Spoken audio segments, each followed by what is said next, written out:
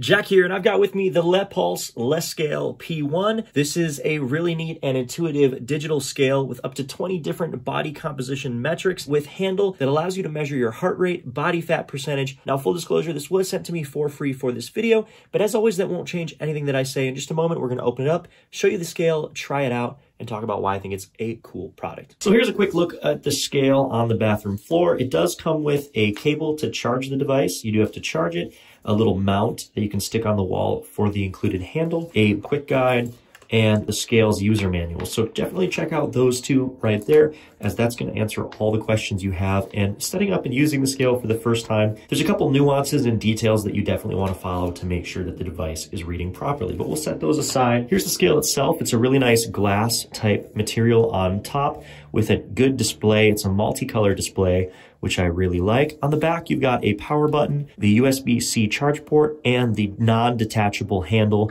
which is mounted there. You can see here the scale is turned on. I'll go ahead and set it down. And if I push on it, it does start registering the weight.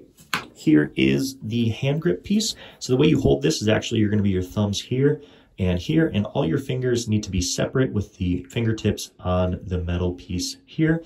And what this is gonna allow you to do when you step on the scale with your bare feet, you do have to have bare feet, once you step on the scale with your bare feet and hold the device like this at a 35 to 40 degree angle, it'll measure not only your weight, but the 20 additional metrics that this scale actually measures, including like body fat percentage, water percentage, muscle percentage, visceral fat, and a bunch of other metrics, which are really helpful if you're trying to track all that and stay fit. Now, in order to gain access to and use those other features other than the weight and actually see like those other metrics, you are going to need to download the Lefit app. It's pretty easy to download and really easy and simple to use, but this is where it's actually going to track your weight, your BMI, and your body fat percentage once you use the scale. So I'm going to go ahead and use the scale now and see all of those metrics populate on the app. As a reminder, you do want to be barefoot. Once you step on the scale, you're going to want to take the handle piece and just put it straight out in front of you, making sure that none of your limbs or your elbows or arms or knees or your fingertips are touching each other. Make sure there's space between. And once your measurement has concluded, you'll be able to see your weight as well as all those different metrics. But to see all the data, you're going to want to use your app. And you can see after you do the measurement, all of your weight data and the different metrics do populate in the app. You can actually scroll down and see your percentages and whether or not you're in a healthy range or not a healthy range for each of those metrics. Anyway, if you're in the market, I think this LePulse Smart Body Composition Scale, the LeScale P1,